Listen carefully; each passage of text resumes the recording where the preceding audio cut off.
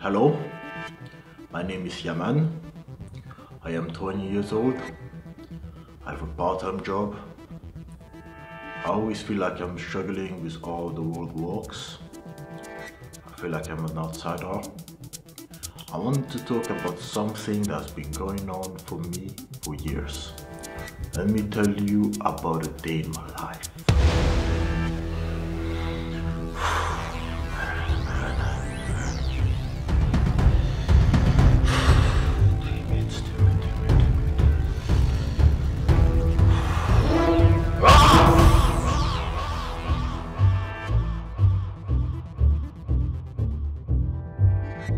I am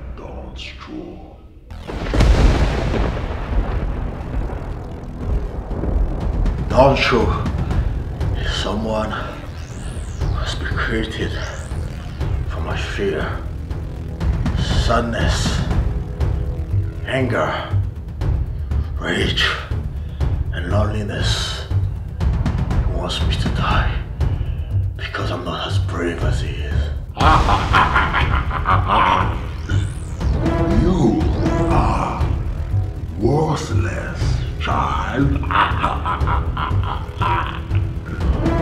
he was braver than I ever was. and I will always be braver than you.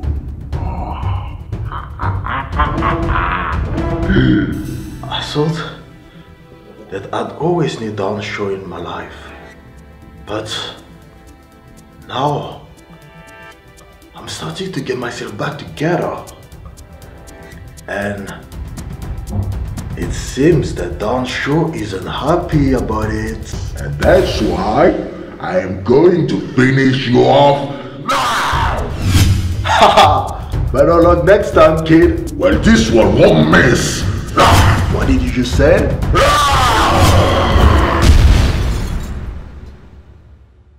I don't know if it was real, if it was a dream. I don't know.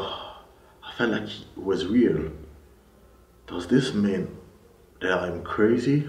No, Yaman, you're not crazy. How did you win? What helps you? Well, I like to write. I like to listen to music and watching films. Um, talking to people really helps. What would you say to someone that's struggling as you are? Get help.